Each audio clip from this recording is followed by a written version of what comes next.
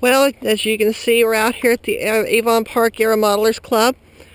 Um, we're grounded right now because of our crop duster friend flying over us today. He should be gone, though, in probably 15 or 20 minutes. We'll be able to resume flying. But uh, in the meanwhile, this is our field. Uh, you can see this fantastic flying field that we have to fly on here.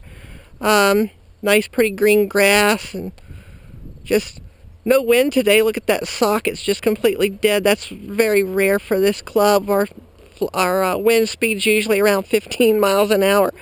Um, but yeah, this is our, our flying field down here in Avon Park, Florida.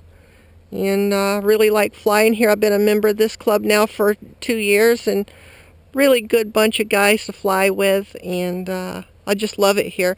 There's the uh, the hole we call it when the wind's blowing really hard the wind comes ripping up through here and causes some pretty cool updrafts for us to play in uh, but lots of crashes down in there occasionally but nothing major well I wonder where our crop duster friend is. He's not coming back yet.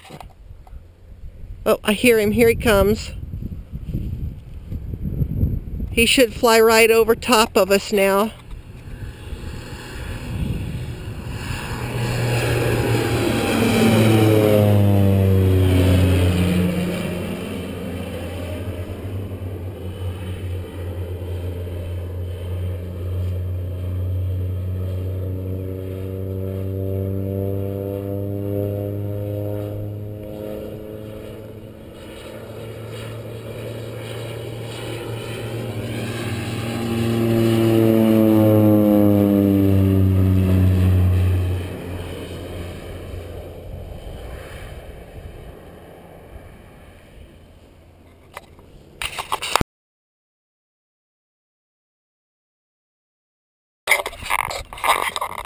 And here he comes again.